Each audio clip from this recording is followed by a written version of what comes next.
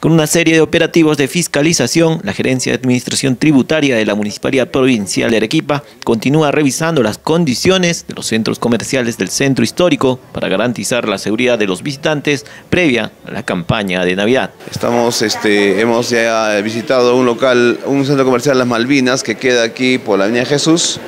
También hemos visitado lo que se llama la esquina del futuro, ¿no? aquí en, en la calle San Juan de Dios de los cuales se han hecho una serie ¿no? de, eh, de, se viene una serie de observaciones que se tienen que levantar, ¿no? ya les damos plazo hasta el día miércoles ¿no? para que este, eh, subsanen ¿no? y que eh, se, pueda, ¿no? Eh, se pueda brindar la seguridad del caso ¿no? a, este tipo de establecimientos. ¿no? De no ser así, vamos a proceder con, con, el, con el, cierre, el cierre del centro comercial.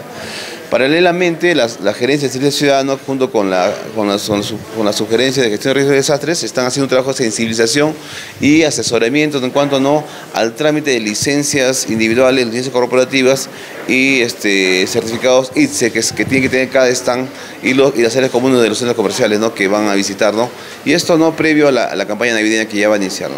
Sobre las licencias individuales, el gerente de Administración Tributaria, Harold Nina Berríos, aclaró que es una opción voluntaria para que los comerciantes puedan continuar abriendo sus negocios ante un eventual cierre de los locales comerciales. Sucede ¿no? de que a veces los centros comerciales se topan con la, con, con el, con la negativa ¿no? de los socios y hay algunos socios que son muy, mucho más predispuestos ¿no? a, a, a enderezar ¿no? a, a el, en cuanto a, eh, a tener todas las autorizaciones ¿no? de, de, del caso y ellos son los que a veces optan por tener una licencia individual, ¿no? Para no perjudicarse en un cierre de todo el centro comercial. Si yo estoy en regla, tengo mi certificado de defensa civil, tengo mi, mi licencia, ¿por qué me van a cerrar si es que mi vecino no lo quiere hacer, ¿no? Entonces, en este caso, eh, también se le da esa posibilidad, ¿no? De, que, solo se exige ¿no? uno de los dos, ¿no? Eso ya es este, potestad del centro comercial cómo lo coordine con sus asociados, ¿no?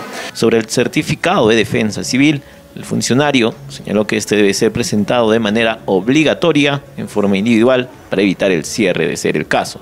Tiene que tramitar de manera individual, o sea, muy al, margen de que todo el centro comercial tenga de repente un sistema ¿no? de, luces de emergencia, el sistema contra incendio, eh, extintores, pasadizos, despejados, todo eso que se, les exige paralelamente tiene que tener una... Este, un certificado ICE por cada stand, ¿no? Así lo estipulan en la norma de, de licencia de funcionamiento. Tiene que tener un certificado ICE por cada stand, dado que internamente también se tiene que ver el tema ¿no? del, del, cableado, las conexiones eléctricas y algunos aspectos de seguridad que, con los que tiene que contar para que la, la, no, la ciudadanía pueda visitar a este tipo de establecimientos ¿no? y no tener ningún tipo de riesgo. ¿no?